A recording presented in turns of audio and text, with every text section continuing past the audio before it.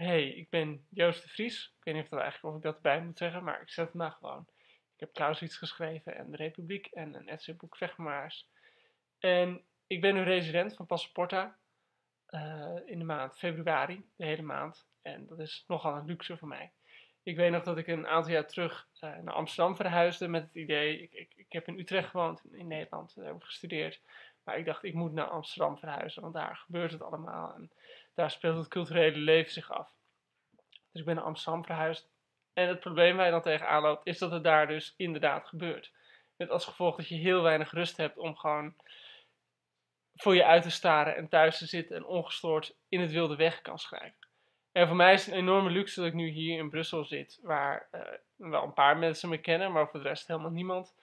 Waar ik gewoon heerlijk de hele dag kan lezen en dan op een gegeven moment ergens in de middag, als ik een beetje warm gedraaid ben, warm gedacht uh, ben, dan zet ik mijn computer aan en dan ga ik gewoon als een wilde, in het wilde weg, als soort van ontsnapte TBS'er, ga ik gewoon schrijven. En ik heb geen idee welke kant het op gaat. En ik had van tevoren natuurlijk wel een paar dingen in mijn hoofd. Ik werk aan een nieuwe roman.